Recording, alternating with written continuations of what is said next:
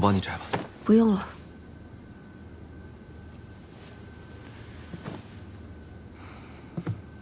一会儿吃些东西再睡吧。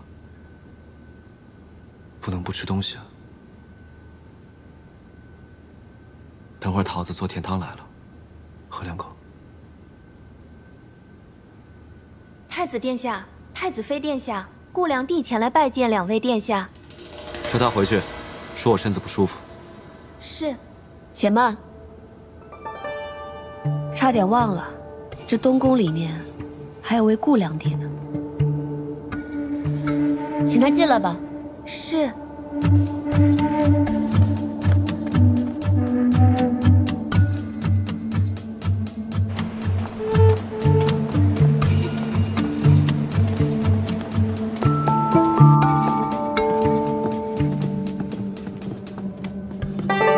臣妾拜见太子殿下、太子妃娘娘。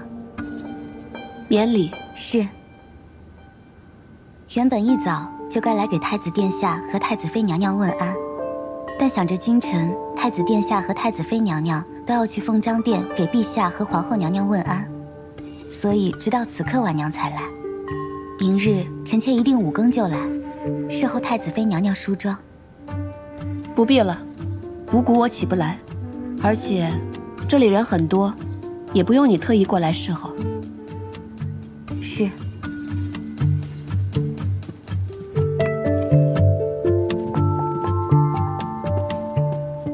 臣妾修了一幅鸳鸯图，恭贺太子殿下与太子妃娘娘大婚。修得不错，娘娘谬赞了。自从太子殿下大婚的消息传来，婉娘心里是比谁都高兴。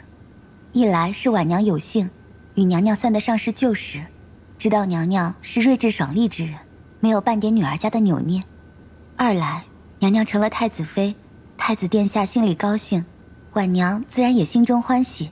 觉得有了主心骨。顾良娣这副鸳鸯绣的确实不错。刚好，我这儿还缺一个屏风，那就再帮我绣一个大绣屏吧。不麻烦你吧？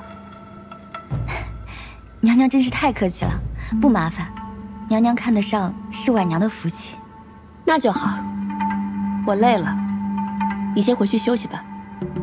是，臣妾明日再来给娘娘问安。